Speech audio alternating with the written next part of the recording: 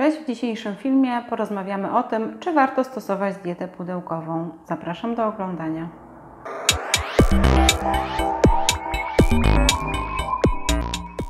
Dieta pudełkowa, czyli taka oferowana przez catering dietetyczny, staje się ostatnio coraz bardziej popularna. I w związku z tym, że coraz więcej osób z niej korzysta, cateringi mm, oferują bardzo dużo opcji. Można znaleźć dietę na przykład dla mam, y, ale, nawet, ale też nawet dla dzieci. Dla sportowców są też różne opcje y, wykluczające różne produkty, czyli y, dieta dla wegan czy wegetarian, ale na przykład też tylko bez mięsa, tylko bez ryb, ale również też bez glutenu i laktozy. Dostępna jest też nawet dieta paleo czy ketogeniczna. Czy warto stosować taką dietę pudełkową?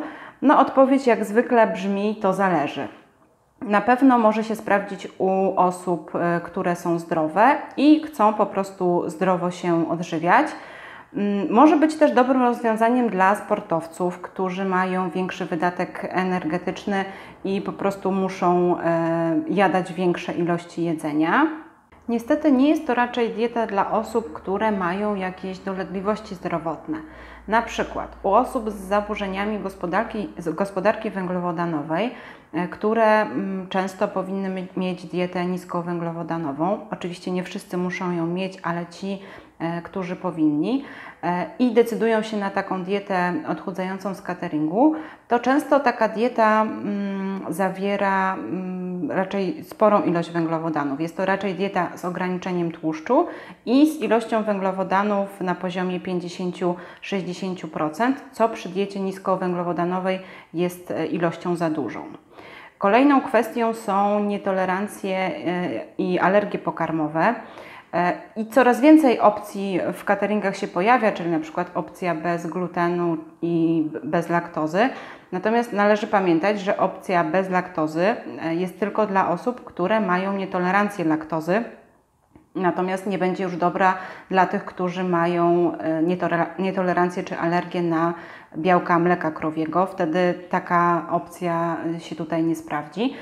Często też różne mm, alergie i nietolerancje dotyczą konkretnych produktów. Może, może to być jakieś jedno konkretne zboże, mogą to być jaja, może to być konkretne warzywo, na przykład pomidor czy cukinia. No i w takim przypadku trudno będzie znaleźć catering, który uwzględni taką konkretną, indywidualną nietolerancję. Częstym powodem wyboru cateringu dietetycznego jest chęć schudnięcia. I takie osoby decydują się na dietę 1000 e, lub 1200 kalorii. Jest to dieta z bardzo dużym ograniczeniem kalorycznym i takie restrykcje w dłuższej perspektywie czasu mm, prawdopodobnie e, e, spowodują zmniejszenie masy ciała, ale z drugiej strony mogą doprowadzić do efektu jojo czy do, pojawienia, do wystąpienia różnego rodzaju niedoborów żywieniowych. Dieta odchudzająca powinna być przede wszystkim indywidualnie dobrana e, i uwzględniać różne kwestie związane ze zdrowiem, czy chociażby aktywnością fizyczną. Mm, jeżeli potrzebujesz pomocy w dobraniu odpowiedniej diety, to oczywiście zapraszam do gabinetu. Kontakt do naszej rejestracji znajdziesz tutaj powyżej. Mm, oczywiście e, korzystanie z cateringu ma też jakieś swoje plusy. Jest szybkie i wygodne pozwala zaoszczędzić czas, to znaczy nie, nie spędzamy czasu na planowaniu posiłków, na zakupach czy gotowaniu. Z drugiej strony jest to dosyć kosztowne. W wersji najmniej kalorycznej e, jest to koszt około 50 zł za dzień, a w wersji takiej dla sportowców, czyli około 4000 kalorii, jest to już ponad 80 zł za dzień, więc dużo taniej wyjdzie przygotowanie posiłków e, samodzielnie w domu. No a jeżeli spakujemy je w pudełka, to będzie to również dieta pudełkowa. Gdy ktoś mimo wszystko decyduje się na skorzystanie z cateringu dietetycznego, powinien zwrócić uwagę na kilka kwestii. Po pierwsze, na to, z jakich produktów przygotowywane są posiłki. Niektóre firmy zamieszczają na stronie e, konkretne menu i można to sprawdzić.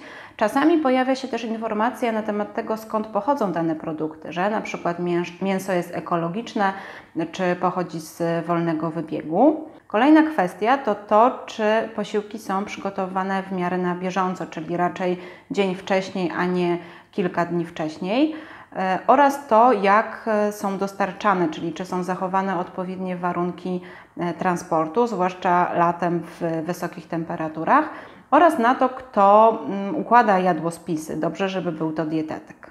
I to, co niestety jest dużym minusem, jeżeli chodzi o dietę pudełkową, to same pudełka, które wykonane są z plastiku, a więc zawierają bisfenol A który jest niebezpieczny dla zdrowia, mm, stymuluje w organizmie działanie estrogenu, a więc może przyczyniać się do e, pojawienia się przewagi estrogenowej, czyli do różnych poważnych zmian hormonalnych, zarówno u kobiet, jak i mężczyzn.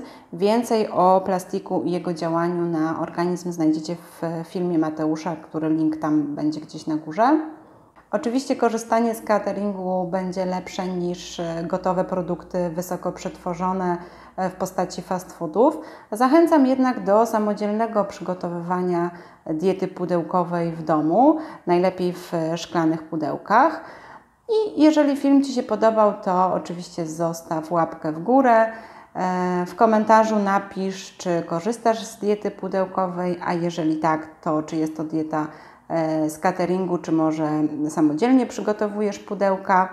E, no i zachęcam też do subskrypcji kanału Iwan Dietetyka Kliniczna. Do zobaczenia.